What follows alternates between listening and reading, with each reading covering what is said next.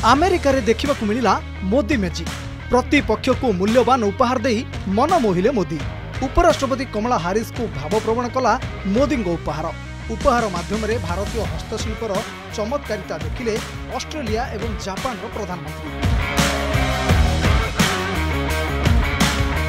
ଦ୍ୱିତୀୟ କ୍ୱାଡ୍ ବୈଠକ ଏବଂ ଛଅସ୍ତରୀତମ ଜାତିସଂଘ ସାଧାରଣ ପରିଷଦ ବୈଠକରେ ଯୋଗ ଦେବାକୁ ଆମେରିକା ଯାତ୍ରା କରିଛନ୍ତି ଭାରତର ପ୍ରଧାନମନ୍ତ୍ରୀ ନରେନ୍ଦ୍ର ମୋଦି। ଏହା ପୂର୍ବରୁ ସେ ଆମେରିକା ଉପରାଷ୍ଟ୍ରପତି କମଲା ହାରିସ୍ ଜାପାନର ପ୍ରଧାନମନ୍ତ୍ରୀ ୟୋସି ହିଦେ ସୁଗା ଏବଂ ଅଷ୍ଟ୍ରେଲିଆର ପ୍ରଧାନମନ୍ତ୍ରୀ ସ୍କଟ୍ ମୋରିସନଙ୍କ ସମେତ ଅନ୍ୟ କେତେଜଣ କର୍ପୋରେଟ୍ ମୁଖ୍ୟଙ୍କ ସହ ମଧ୍ୟ ସାକ୍ଷାତ ଆଲୋଚନା ହୋଇଥିଲା। ତେବେ କମଲା ହାରିସ୍ ମୋରିସନ୍ ଏବଂ ସୁଗାଙ୍କ ସହ ବିଭିନ୍ନ ଦ୍ୱିପାକ୍ଷିକ ପ୍ରସଙ୍ଗରେ ଆଲୋଚନା କରିବା ଅବସରରେ ସୌଜନ୍ୟତା ଦୃଷ୍ଟିରୁ ପ୍ରଧାନମନ୍ତ୍ରୀ ମୋଦି ସେମାନଙ୍କୁ ଯେଉଁ ଉପହାର ଦେଇଥିଲେ ତାହା ଏବେ ପାଲଟିଛି ଚର୍ଚ୍ଚାର ବିଷୟ। ସୂଚନା ଅନୁସାରେ ଉପରାଷ୍ଟ୍ରପତି କମଲା ହାରିସଙ୍କୁ ମୋଦି ସାକ୍ଷାତ ଆଲୋଚନା କରିବା ଅବସରରେ ଯେଉଁ ଉପହାର ଦେଇଥିଲେ ତାହା ଅନେକ ଦୃଷ୍ଟିରୁ ଖୋଦ୍ ହାରିସଙ୍କ ପାଇଁ ଥିଲା ବେଶ୍ ସ୍ୱତନ୍ତ୍ର।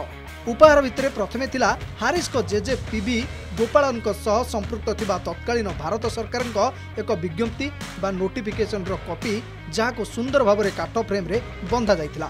ପିବି ଗୋପାଳନ କେନ୍ଦ୍ର ସରକାରଙ୍କ ଏକ ବିଭାଗର ଜଣେ ବରିଷ୍ଠ ଅଧିକାରୀ ଭାବରେ କାମ କରୁଥିଲେ। ନିଜ ପରଲୋକଗତ ଜେଜେଙ୍କ ସ୍ମୃତି ସହ ଜଡ଼ିତ ଉପହାର ପାଇ ବେଶ୍ ଭାବପ୍ରବଣ ହୋଇପଡ଼ିଥିଲେ ଭାରତ ବଂଶଜ କମଳା ହାରିସ୍। କେବଳ ଏତିକି ନୁହେଁ ତାଙ୍କୁ ଏକ ଗୁଲାବୀ ମିନାକରୀ ଚେସ୍ ସେଟ୍ ମଧ୍ୟ ଉପହାର ସ୍ୱରୂପ ପ୍ରଦାନ କରିଥିଲେ ପ୍ରଧାନମନ୍ତ୍ରୀ ମୋଦି। ଏହି ଚେସ୍ ସେଟ୍ର ସୁନ୍ଦର ହସ୍ତକାମ ମୋଦିଙ୍କ ସଂସଦୀୟ କ୍ଷେତ୍ର ବାରାଣାସୀରେ ପାରମ୍ପରିକ କାରିଗରଙ୍କ ଦ୍ୱାରା ପ୍ରସ୍ତୁତ ହୋଇଥିବାର ଜଣାପଡ଼ିଛି।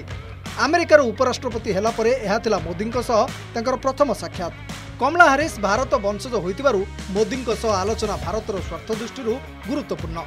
ସେପରି ଜାପାନର ପ୍ରଧାନମନ୍ତ୍ରୀ ୟୋସି ହିଦେ ସୁଗାଙ୍କୁ ମଧ୍ୟ ମୋଦି ଉପହାର ସ୍ୱରୂପ ଦେଇଥିଲେ ଚନ୍ଦନ କାଠରେ ତିଆରି ଏକ ବୁଦ୍ଧ ମୂର୍ତ୍ତି। ବୌଦ୍ଧ ଧର୍ମ ଜାପାନର ଏକ ପ୍ରମୁଖ ଧର୍ମ ବିଶ୍ୱାସ ହୋଇଥିବାରୁ ଏହା ସୁଗାଙ୍କୁ ବେଶ୍ ପସନ୍ଦ ଆସିଥିବା ଜଣାପଡ଼ିଛି।